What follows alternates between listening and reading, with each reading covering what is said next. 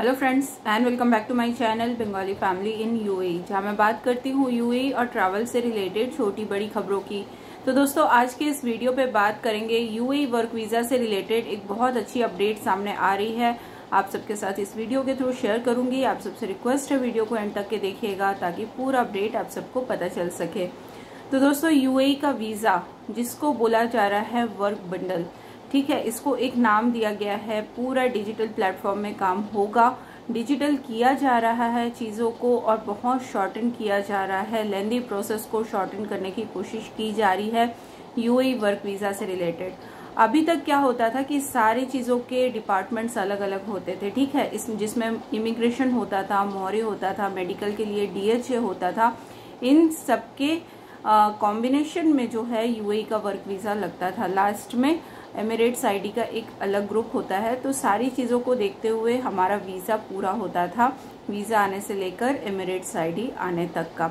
लेकिन अब इसको एक साथ किया गया है, इसलिए इसको बोला जा रहा है वर्क बंडल यानी कि वर्क वीज़ा जो है, वो एक साथ किया जा रहा है। तो कुछ दिन पहले ही मैंने आप सबको अपडेट किया था कि पाँच दिन में ही आपका जो है वीज़ा का काम पूरा हो जाएगा। चाहे मेडिकल हो एमरेट्स आईडी हो, चाहे कुछ भी हो, पाँच दिन मैक्सिमम पाँच दिन लगेंगे। तो ये काम ऑलरेडी शुरू हो चुका है दुबई में। दूसरे एमरेट्स में अभी शुरू नहीं हुआ है, लेकिन दुबई में ऐसे वर्क वीज़ा जो है एक्सेप्ट होने शुरू हो चुके हैं और ये फ़िलहाल अभी जो है स्किल्ड कैटेगरीज के लिए एक्सेप्ट किए जा रहे हैं।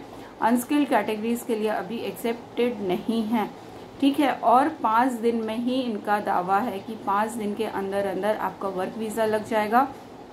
और ये जो फ़िज़िकल एमरेट्स आईडी है, ये बाद में आपके पोस्ट में आएगा।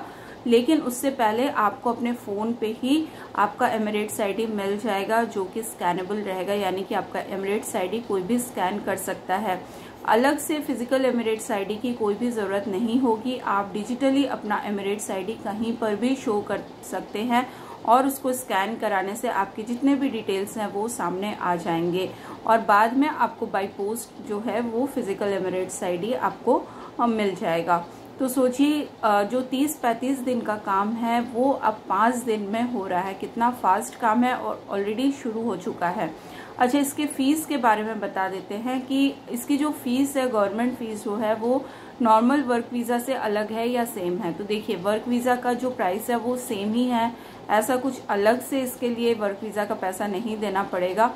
और वर्क वीज़ा वैसे भी आपको एक भी पैसा देने की ज़रूरत नहीं होती। है अगर आपकी जॉब लगी है तो कंपनी पूरा आपका वीज़ा का खर्चा उठाती है। तो ये अगर कंपनी यहाँ पर अप्लाई करती है तो भी कंपनी ही आपका जो वीज़ा का खर्चा है वर्क वीज़ा का खर्चा, वो कंपनी ही देगी, ना ही आपको देना होगा।